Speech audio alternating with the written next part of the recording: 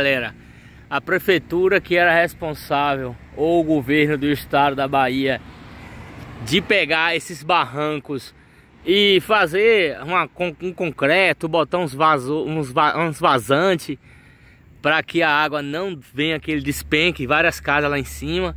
E aí o vizinho teve uma ideia ali de estar tá plantando essas bananeiras, porque a raiz da bananeira ela, ela espalha, galera. Então ela vai segurar a terra. Então é a engenhosidade dele em estar tá fazendo isso aí perto da casa dele. Plantou só de bananeira, ó.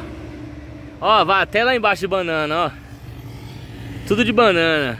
Muito tipo de banana. Da prata, da terra, nanica. Tem mais ali, ó.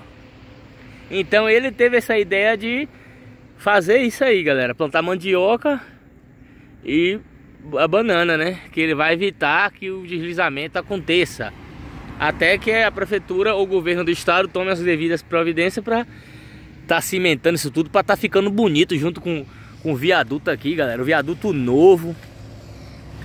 Isso aí ainda, né? Era para estar tá tudo cimentado com, com as drenagens certinho. Mas não, é só faz, a, só faz as coisas aqui na cidade quando acontece.